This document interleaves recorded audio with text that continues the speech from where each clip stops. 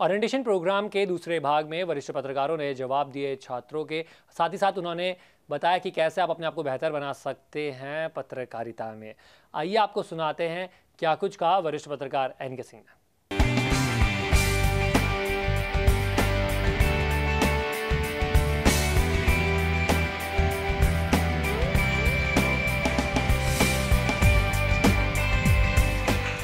Media बिकाऊ नहीं है, इसे कोई नहीं खरीद सकता।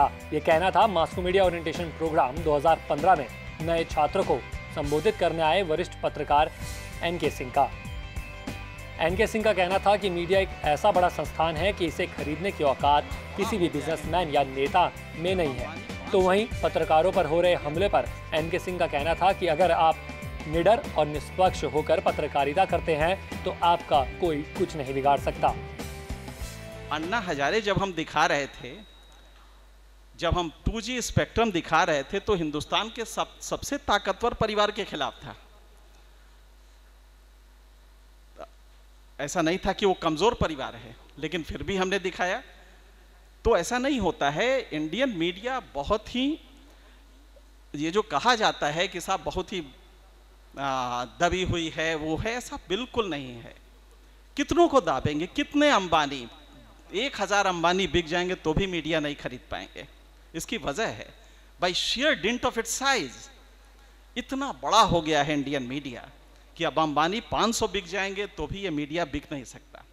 अगर आपकी रिपोर्टिंग अनबायस्ड है जेन्यून है, मुझे याद है इलाहाबाद में एक बहुत बड़े किसी अपराधी जो बाद में एमपी भी बना, उसको हमने उसके खिलाफ कुछ किया था सीरीज़ तो उसने भरे प्रेस कॉन्फ्रेंस में कहा कि साहब अगर ज़िंदगी में मैं पहली बार डरा हूँ तो आपसे डरा हूँ।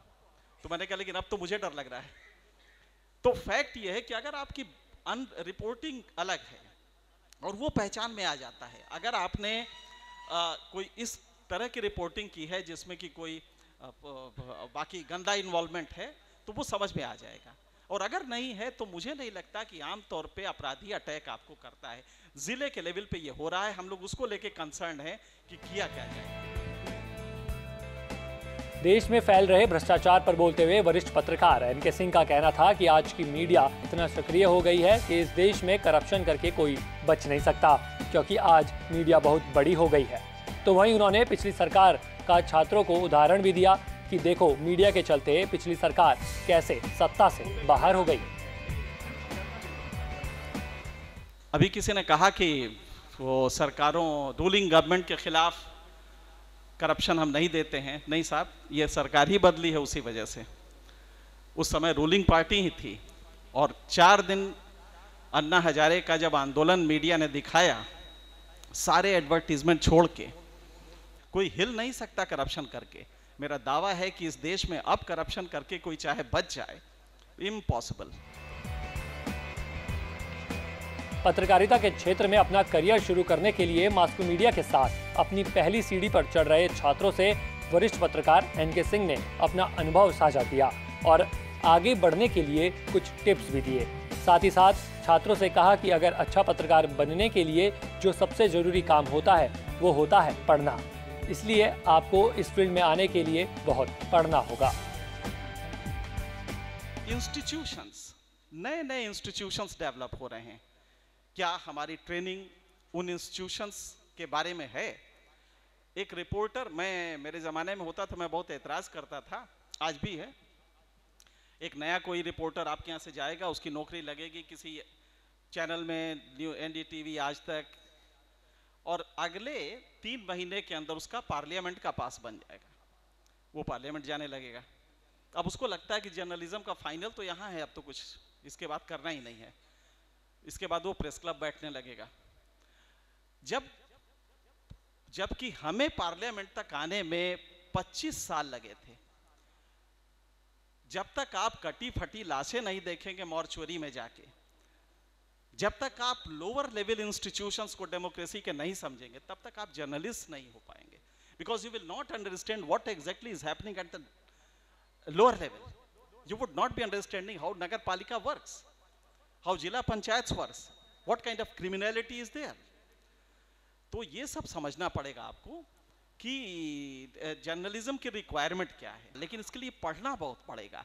नए नए इंस्टीट्यूशंस आ रहे हैं नए नए सोशल फिनोमेना एक नीति आयोग आया है। प्लानिंग कमीशन से शिफ्ट होकर एक नीति आयोग आया। आपको समझना पड़ेगा कि क्या डिफरेंस है। एक नया इंस्टीट्यूशन क्यों डेवलप किया गया है। इसी तरह जुडिशियल प्रोसेसेस तमाम नए नए केसेस आ रहे हैं जिसको फिर से समझना पड़ रहा है। लिहाजा आपकी पढ़ाई बहुत ज़्यादा होनी चाहिए इसमें। मैं यही कहूँगा कि एक अच्छे समय पे आप जर्नलिज्म ज्वाइन करने जा रहे हैं और स्कोप जो आगे करियर का है, वो बहुत अच्छा है। मास्को मीडिया के साथ अपने नए जीवन की शुरुआत कर रहे नए छात्रों को वरिष्ठ पत्रकार एन के सिंह की बातें सुनकर बहुत अच्छा लगा और उनकी बातों पर अमल करते हुए आगे बढ़ने का छात्रों ने निश्चय किया। Bureau report, NNC news, Delhi. तो आपने देखा कि किस तरीके से वरिष्ठ पत्रकार एन के सिंह ने छात्रों के सवालों के जवाब दिए और उन्हें उज्जवल भविष्य की उन्होंने शुभकामनाएँ दी। आइए कार्यक्रम में आगे बढ़ते हैं और अब बात करते हैं अलका सक्सेना की, जो कि आज तक की संस्थापक सदस्य टीम में रही हैं। उन्होंने क्या कुछ कहा? छात्रों को क्या कुछ गुरु सिखाए? आइए देखते हैं।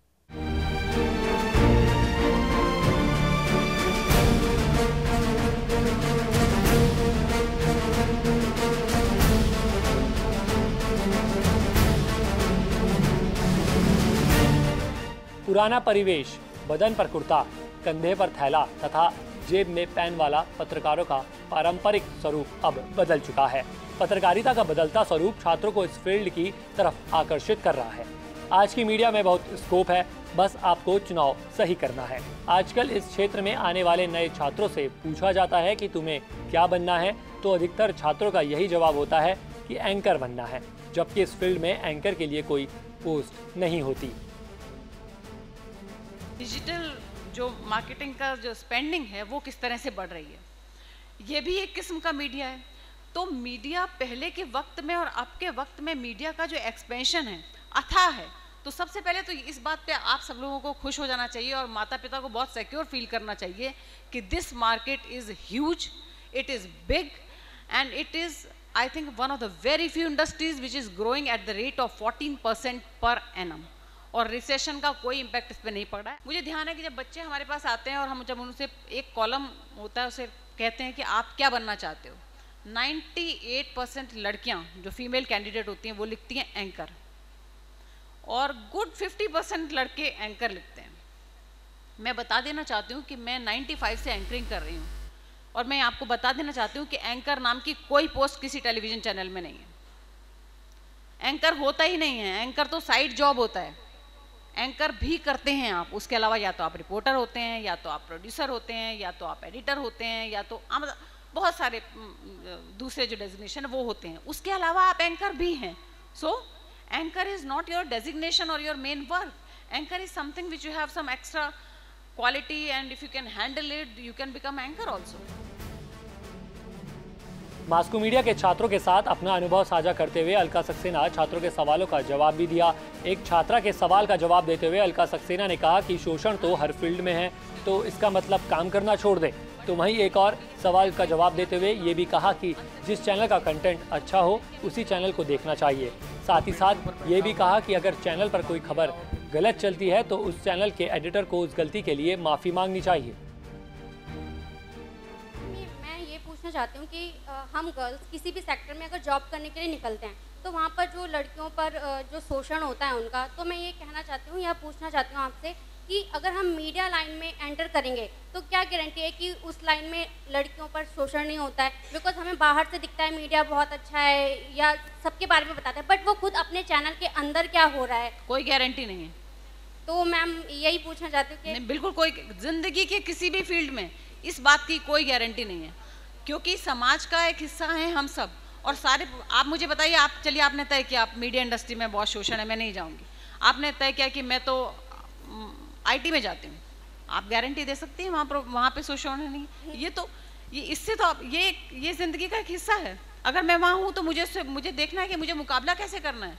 मुझे मुझे इससे कैसे लड़ना है, मुझे अपनी जगह कैसे बनानी है? जब तक ये एवरीडे फाइट रहेगी, तब तक, जो है कंटेंट क्रेडिबल कंटेंट देखा जाएगा चाहे वो किसी भी चैनल में हो छोटे चैनल में हो या बड़े चैनल में जैसे कभी कभी होता है कि कोई खबर होती है आती है और दो तीन दिन तक वो सरवाइव करती है उसके बाद में मालूम चलता है वो खबर फेक थी ठीक है ना? ठीक है। उस पर चैनल कोई अपनी प्रतिक्रिया क्यों नहीं देता? अभी जैसे कुछ दिन पहले मही, करीब महीने दो डेढ़ महीने पहले खबर आई थी कि यूएफओ देखा गया कानपुर में। कानपुर में उड़न तस्करी देखी आप ऐसी खबरें कहाँ देखते हैं? मैं बहुत ही मतलब बड़े लेवल का नेटवर्क है उसके काफ़ी सारे रीजनल चैनल्स हैं नाम मैं लेना नहीं चाहूँगा। उसने खबर तीन दिन बड़ी अच्छी तरह से दिखाई सोशल मीडिया पे भी काफ़ी वायरल हुई खबर उस खबर पे दूसरे चैनल्स ने भी दिखाई। ऐसा नहीं खबर दिखाई। बट कुछ एजेंसीज ने वो खबर चेक की जब न्यूज़ एजेंसीज ने वो खबर पूरी फेक निकली क्योंकि वो एक एंड्रॉयड ऐप के द्वारा बच्चे ने तस्वीर ली थी उसको बनाया था। तो इस पे क्या होना चाहिए? मतलब कोई मेरे मेरे हिसाब से एडिटर को उस पर कॉल लेनी चाहिए। अगर कोई फेक कोई गलत खबर या कोई इस तरह का चीज़ अगर चैनल पे चली है तो उसको एक कम से कम एक पट्टी चलानी चाहिए। मगर ये सेंस ऑफ़ रिस्पॉन्सिबिलिटी है जो कि एडिटर टू एडिटर डिफर करता है। पर आइडियली ऐसा होना चाहिए। कैसे आप डिसाइड करते हैं कि कौन सा चैनल छोटा है कौन सा बड़ा है? जो पहले से चल रहा है वो बड़ा है? या टीआरपी के आधार पर आप बड़ा कह रहे हैं आप किसे बड़ा और छोटा चैनल मानते हैं? मेरे हिसाब से एज अ व्यूअर आपको जिसका कंटेंट पसंद आ रहा है आपको उसे देखना चाहिए। दूसरी बात यह है कि जिसकी क्रेडिबिलिटी है वो अब भी लोग उसको ज़्यादा देखते हैं। जहाँ तक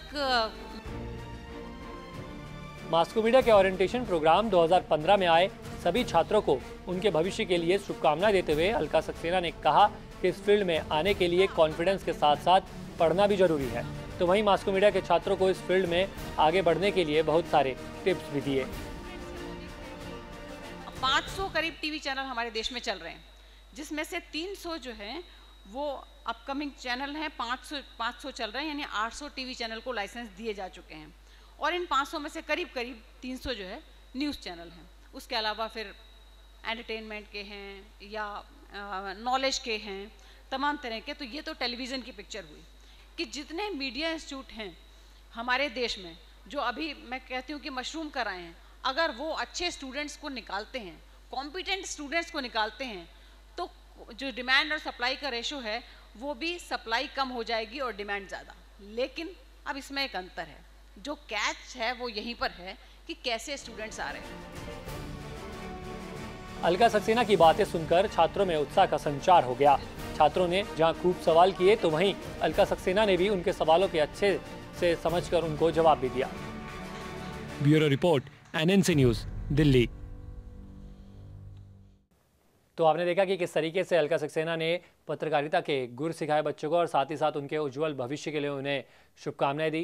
कार्यक्रम में आगे बढ़ते हैं और आपको दिखाते हैं कि अब राष्ट्रपति स्त्री शक्ति पुरस्कार से सम्मानित वर्तिका नन्ना ने क्या कुछ कहा और क्या कुछ टिप्स दिए बच्चों को पत्रकारिता में बेहतर बनने के लिए। आइए आपको दिखाते हैं।